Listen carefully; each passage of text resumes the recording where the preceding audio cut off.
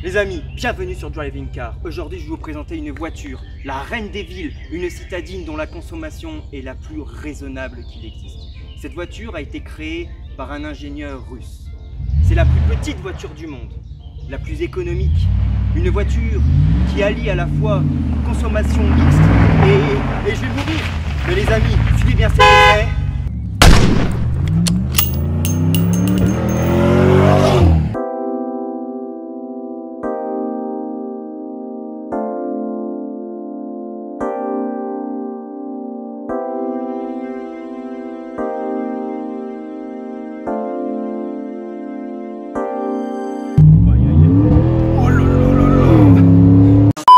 Clément, tu es venu nous présenter ton, ton Dodge Oui, donc c'est un Dodge Ram euh, 1500. 1500, c'est Ouais, ça Donc avec un moteur de 5 litres 7, euh, donc c'est un V8 euh, donc essence de chez Eni. Ouais. Donc euh, avec une puissance de 395 chevaux. et 395. 550 Nm. 550 Nm de coupe. Ah oui, c'est intéressant. C'est assez intéressant euh, pour tracter, euh, que ça soit même dans le travaux public. hein. Aux États-Unis, je sais qu'ils utilisent beaucoup de genre d'engin. Ouais. C'est c'est assez monstrueux. C'est monstrueux comme voiture. Hein. Cette voiture, elle fait passer toutes les autres voitures pour, euh, pour des Twingo à côté. C'est hein. ça, c'est exact. Et t'es combien en conso à peu près? Ah, là, euh, franchement, on est dans les 20 litres. 20 litres 100, Oui, ouais. euh, Je crois qu'ils annoncent sur leur site 13 litres, mais c'est des- mais c'est- non, voilà, ouais, c'est 13 c'est des litres, conneries, on est ouais. très très loin. hein. À l'arrêt, 13 litres, oui. alors, c'est une, très belle voiture. hein. Parle-nous un peu des, des échappements. Je pense que c'est euh, c'est quelque chose qui est très intéressant sur cette voiture. Oui, justement. Donc, euh, bon, c'est une double sortie. hein. Ouais. Donc, simplement, euh, bon, c'est de l'inox. hein. Ce qui a été euh, refait dessus, en fait, il y a un système de clapet. Ouais. Et euh, donc, euh, ensuite, ça fait vraiment un bruit de V8 monstrueux. euh, Ah bah j'imagine. ouais. J'imagine, Bon, il y a j'imagine. une petite perte de puissance avec les clapets ouverts.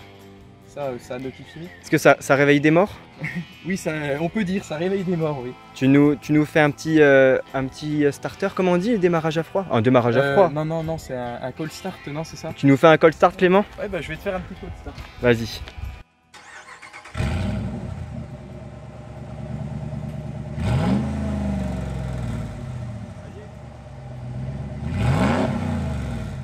C'est une finition, euh, donc euh, Laramie euh, Longhorn. Ouais. Donc Laramie en fait c'est le plus haut de gamme de chez Dodge et Longhorn en fait c'est une finition surtout intérieure. Et donc il y a du bois un petit peu partout. Donc, Ouais, on va aller regarder voilà, l'intérieur. c'est hein. vraiment magnifique. Ouais. Et euh, vraiment, euh, Du coup, c'est le haut de gamme de chez Dodge un peu. c'est ça, c'est le, haut- le haut de gamme. Il y a aussi le Limited, mais c'est encore autre chose le Limited. Personnellement, le, Ouais. le Longhorn, euh, Ça fait vraiment western quoi. c'est Ça, ça. fait, ça fait, c'est fait bon. On va faire un petit coin à l'intérieur. Montre-nous un peu à quoi ça ressemble. Déjà juste les, les portes, ça doit être magnifique. Voilà, ah oui. Donc, voilà, Aïe, donc aïe, là, là, c'est du vrai bois. Donc sur la finition Laramie, Ouais. euh, c'est du, il y a du bois, mais c'est du, du plastique en fait. D'accord. là, C'est vraiment du vrai bois. Ouais, on voit, Ensuite, ouais. euh, on voit euh, donc le, le cuir avec les ah oui, la, petites sacoches là. la, ça- la sellerie, elle est magnifique. C'est magnifique. hein. Ouais, un cuir un peu camel comme ça. Voilà. Et bon, après, il y, a- y a beaucoup de rangements un petit peu partout euh, Ah bah tu m'étonnes. avec. euh, Voilà, on peut même. euh, En Ouais, fait, ouais, on peut vois. charger ce qu'on veut, même à l'intérieur. hein. Mais du coup, alors, ce qui est rigolo un peu sur cette voiture, c'est que c'est considéré comme un kangou, c'est ça? C'est un gros kangou en fait. Aux États-Unis, oui. Mais en France, c'est un utilitaire. Euh, aux États-Unis, c'est un, utili- un utilitaire, oui. Ouais, mais en France. En, France, euh, oui, sur la carte grise. Ouais, c'est sur la carte grise, c'est- voilà. camionnette. Voilà, c'est ça. Avec deux. assez intéressant en fait, justement, de le, de le mettre euh, donc au gaz. Ouais. Comme ça, on récupère euh, pas mal euh, sur le coup de la carte grise. D'accord. Et au niveau de l'assurance aussi, justement, ce qui est c'est assez intéressant. Donc on a quand même un système, bon c'est américain quand même, mais on a Ouais, quand mais même, il y a quand même de la technologie à Ils se, sont, l'intérieur. hein. ils se sont quand même améliorés. Voilà, c'est ah ben, c'est magnifique. Ça n'a rien à voir. Donc c'est un écran. C'est tactile? oui, c'est tactile justement, c'est ça qui est, qui est assez sympa. Et donc on a le Bluetooth, enfin c'est vraiment toute option. hein. Ok. Après, euh, donc, ce qu'on a de sympathique aussi au milieu là, il y a pas mal de petits réglages à faire. euh, Bah oui, tu nous, tu nous mets le, contact. Aïe aïe. Donc voilà, on peut voir, il y, a- il y a pas mal de modes. C'est assez sympa. Le... Ah bah oui, oui. Avec le petit. Voilà, on peut régler au niveau de la vitesse, euh, voilà la configuration écran. On peut même lire les messages. Donc Ah ouais, tout en conduisant au niveau de l'audio, euh, voilà la consommation. euh, on peut voir un tas de choses. Ah, c'est très très beau. hein. Puis surtout la finition sur euh, les cuirs, euh, à chaque fois c'est marqué Oui, c'est voilà, là. voilà, tout est notifié en fait. Ah, c'est magnifique, hein, les sièges. Bah pour un utilitaire, en vrai à l'arrière on est bien. Oui, oui, bah c'est c'est un utilitaire haut de gamme. hein. Non. Là aussi, là, euh, c'est assez intéressant. Il y a pas mal de rangements. Enfin, il y, a- il y a des prises aussi pour l'USB. D'accord. Encore en dessous, Ouais. il y a encore un gros gros rangement.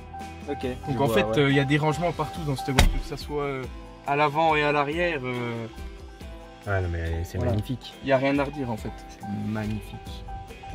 Et puis vraiment les- la qualité. C'est fou parce que c'est un de quelle année là? On est en 2017, non? Euh, 2000, euh, 2016. 2016. Oui, oui, 2016-2017. hein. Par rapport à ceux juste la génération d'avant, ça n'a rien à voir quoi à l'intérieur. hein. ça n'a clair- clairement Là, rien à voir. le petit levier de vitesse à la Range Rover. là. Alors euh, oui, justement, ça c'est assez spécifique. Euh, donc euh, c'est simplement, c'est une ma- Tiens, on va démarrer. Oi, oi, oi, oi. Voilà, donc c'est simplement, donc il y a, donc il y a là aussi la caméra, hein, caméra, bien ouais. évidemment. Donc là on est, en, on est en neutre. Voilà, donc là on peut, on voit vraiment tout est notifié. Donc là par exemple, rien que en le démarrant, euh, on est déjà à 18 litres. C'est Ce sympa. qui est, ce qui est assez. C'est euh, raisonnable. Oui, voilà. C'est quoi le bouton vert que je vois à gauche là-bas? Le bout... Ah oui, bah ça justement c'est le c'est l'équipement euh, au gaz. Donc c'est un système de chez Prims. D'accord. Et c'est en fait c'est les meilleurs euh, au niveau Ok. équipement. Putain, il, est- il est magnifique. Bon. Tu nous montres un petit coup le, le capot, ce qu'il y a sous le moteur? Bah pourquoi pas, oui. Aïe aïe aïe aïe aïe. Si vous regardez, euh, notre façon de camoufler la plaque est assez euh, actuelle.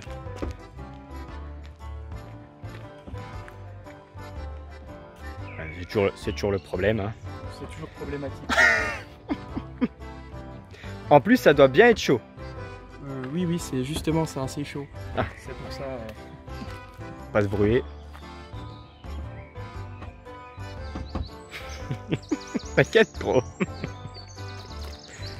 Je vais filmer la nature un peu si tu veux. Tu l'as trouvé? C'était les lunettes de soleil. euh, Ah, c'était une aide de soleil. Oh là là là là. Bon, par contre, Minimati, elle voit pas, elle voit pas le moteur, elle. Hein.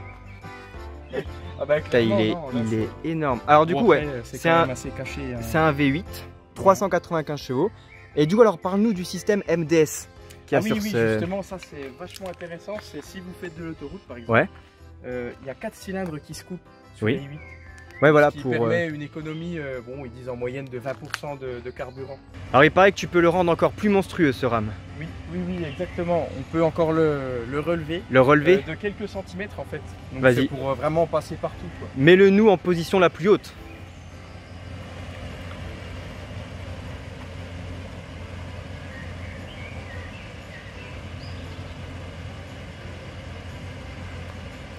En fait, c'est le off, off-road. Off-road, Bon, mon anglais est pas très bon, mais c'est pas grave. là il est au max. Et là, non, il est en train de, de monter. Là, il est pas encore au Ah max. ouais, on le le voit. voit en fait. On le voit monter. Oh, aïe aïe aïe aïe aïe aïe.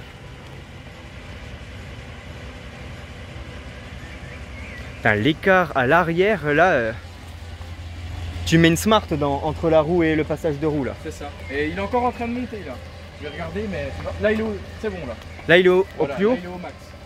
Bon, bah, déjà de base, je crois qu'il faisait un mètre, presque 2 mètres en taille. Là on est, on est à bien plus de 2 mètres là. Euh, oh oui, facilement. Putain, il est monstrueux. Alors juste pour le truc, on va mettre un. Je vais mettre le Q7 à côté.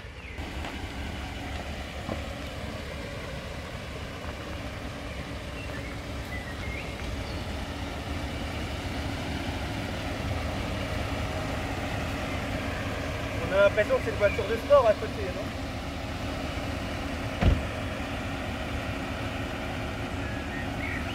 Ah ouais, il fait, il fait tout petit.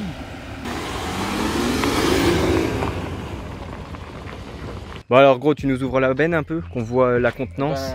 Ben, bien évidemment. On est sur un, je crois, quelle taille en benne? Je crois que c'était marqué 6,4 Oui, pouces, mais je sais pas comment on immense. dit.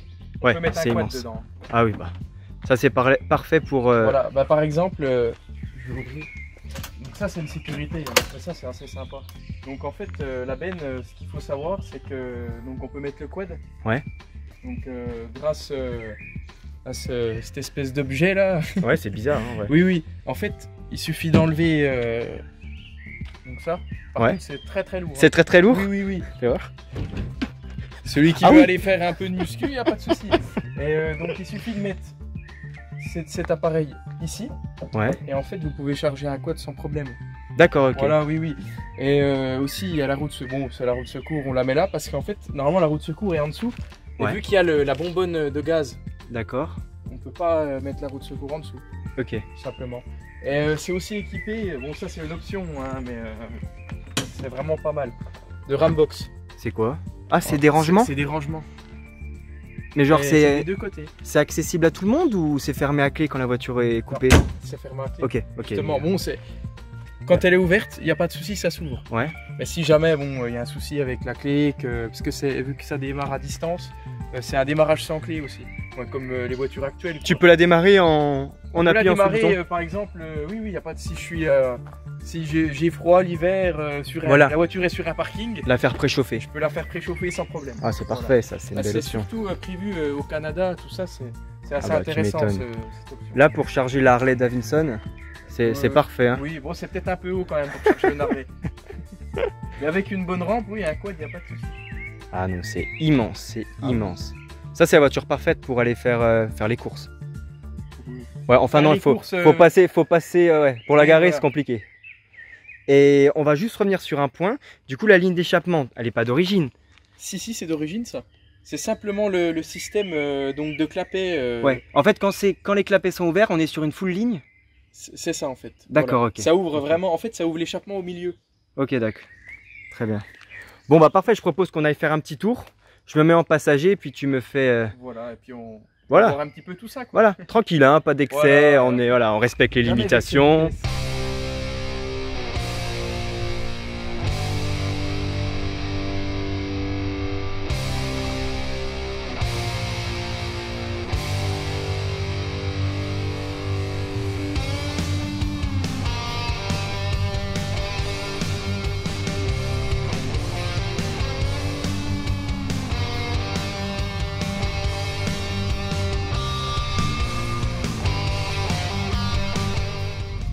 C'est quand même assez confortable en vrai. Hein.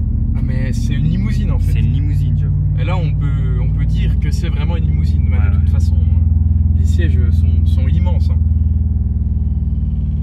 Ah, et puis t'as quand même, un, je viens de voir, un bon système euh, multimédia, Alpine. Oui, oui. C'est un système en fait alpine euh, et c'est vrai que le son est assez, euh, est assez surprenant. Bon, fais-nous écouter le vrai son de la voiture. Ouais, très bien le son. Hein. Ah bah c'est. On finit bête à la fin de nos soirées. On fait la fête jusqu'à ce que l'un de nous soit raide. En fait, c'est un son en trois dimensions. Ouais. Aïe. Oh là là là là.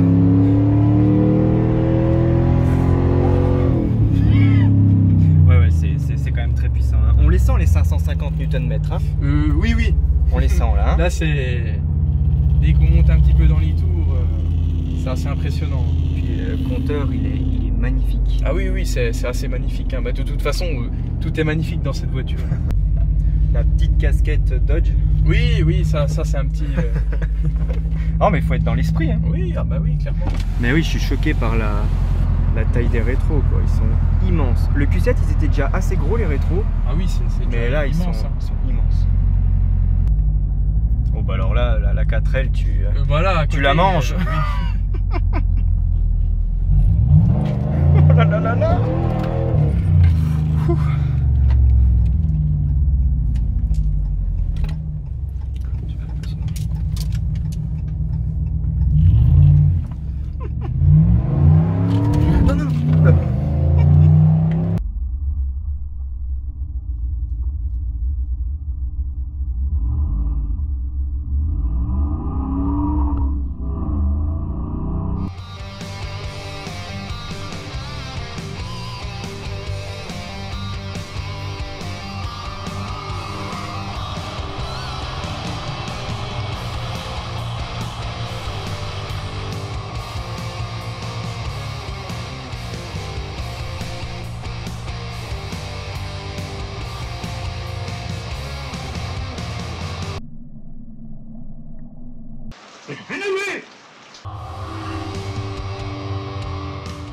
Les amis, si la vidéo vous a plu, n'hésitez pas à la liker, à la commenter et surtout à vous abonner à la chaîne Driving Cars, à l'Instagram Driving Cars. C'était Clément et Lucas et on vous dit à la prochaine. À très bientôt.